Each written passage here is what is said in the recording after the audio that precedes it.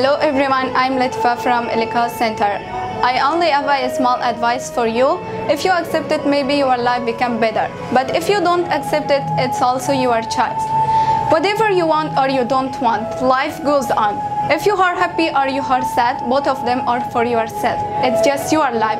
You can choose which one do you want to be. You want to be sad or you want to be happy. So why you don't spend your life with happiness?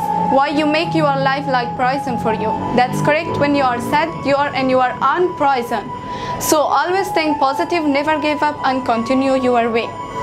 Keep in your mind, Allah doesn't give us the life to waste it in sadness. Allah gives us the life to spend it with happiness, success, worship and calmness. Thank you. Happy Independence Day.